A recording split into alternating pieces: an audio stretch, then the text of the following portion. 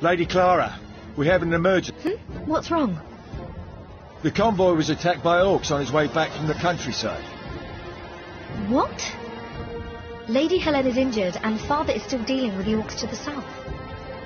We haven't much time, my lady. We can't let them take our supplies. Damn it. Why now? I suppose I have no choice. Please, look after Lady Helen while I'm gone. Yes, my lady. Is everyone all right? Lady Clara!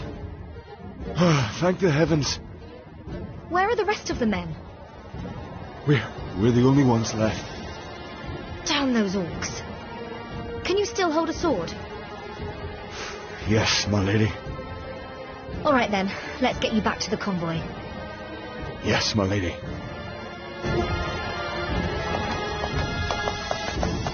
Orcs up ahead! Not again. I know you're all exhausted, but I need you to stay alert and guard the convoy.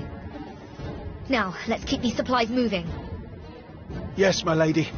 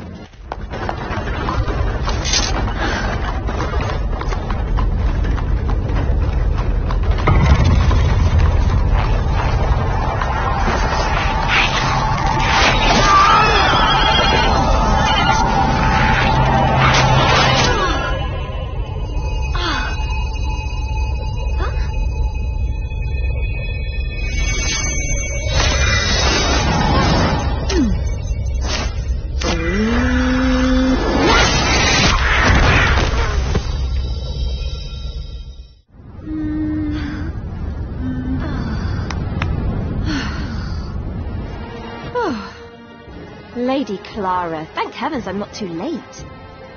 Aris, what are you doing here? I couldn't let you deal with this on your own. But what if word gets out? Don't worry about it. Your men know how to keep a secret, don't they?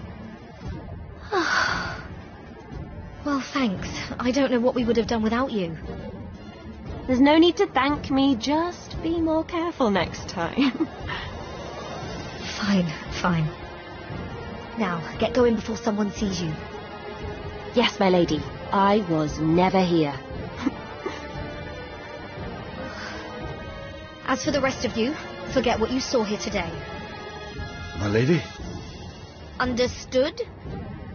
Oh, yes, my lady, understood. what am I going to do with her?